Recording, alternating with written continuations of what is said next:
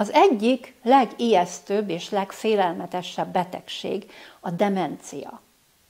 Biztos vagyok benne, hogy benned is fölmerült már az, hogy csak nehogy demens legyek. A közvetlen szomszédaimnál tanulja lehettem annak, hogy éveken keresztül hogyan épül le a demens beteg. De még jobban ijesztő volt az, hogy láttam a családtagoknak a belerokkanását is. És ilyenkor az embernek más vágya nincs, csak az, hogy bárcsak tehetnék valamit önmagamért, hogy én ne legyek demens, és ne terheljem a családtagjaimat ezzel. Tulajdonképpen mit jelent a demencia? Azt mondja az orvostudomány, hogy az idegsejtek köré plakkok rakodnak le, illetve idegsejtek halnak el. És nem gyógyítható, mondja a nyugati orvostudomány, de hallgass meg Rüdiger Dahlke előadását, aki azt mondja, hogy a demencia gyógyítható, bár nem nyugati orvostudományjal.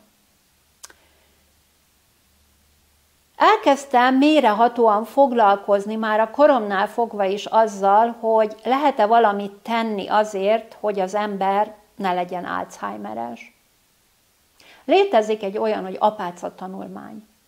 David Snowden 678 katolikus apácát figyelt meg sok éven keresztül. Ugyanis ők úgy haltak meg, hogy nem lettek demensek. 75, 80, 95 éves korukban épp észszel haltak meg. Arra gondoltak, hogy őket nem érinti ez a betegség. Bernadett nővér halála után fölboncolták az agyát, és a legnagyobb meglepetésükre totálisan beteg volt az agya.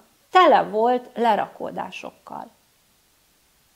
Tudósok bevonultak idősek otthonába megnézni, hogy ki lesz demens, és ki nem. Mit csinálnak másképp. Itt is le tudtak vonni egy következtetést. Illetve létezik öt sziget, ahol száz évig élnek az emberek. Okinawa szigete a leghíresebb.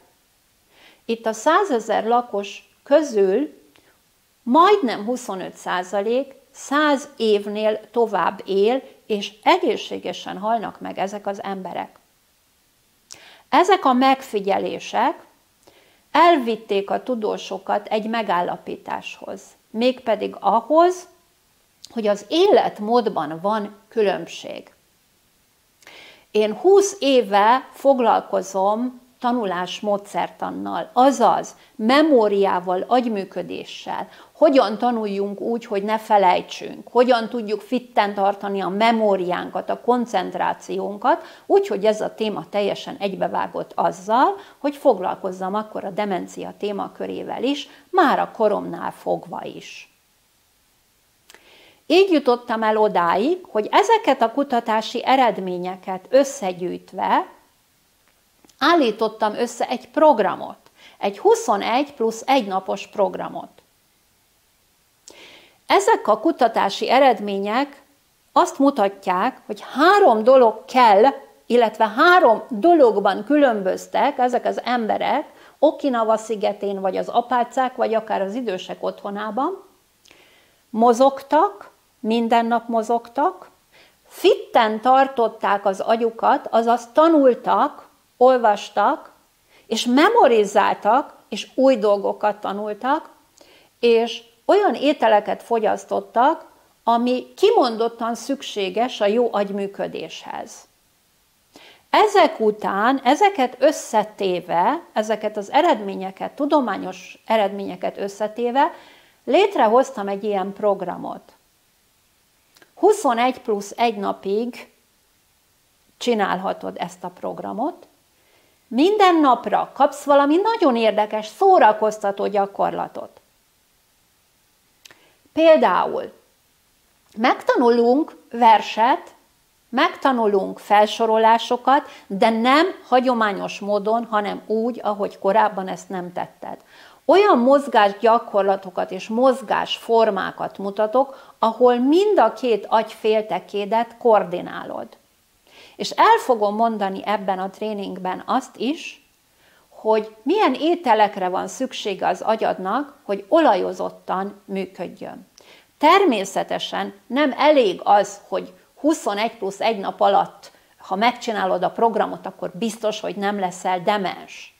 Én ezt nem, nem ezt mondom. De ha ezt végigcsinálod, akkor utána teljesen más életmódot fogsz élni, tudatosan fogsz figyelni arra, hogy hogy telnek a napjaid, és minden napra tudsz betenni magadnak utána is még egy-egy programot. Összefoglalva tehát azt mondom, hogy két megoldás lehetséges. Vagy ölbetett kézzel várod a szerencsét, hogy talán engem nem fog érinteni az Alzheimer, vagy azt mondod, teszek magamért, hogy megóvjam a családomat ettől a rettenetes tehertől.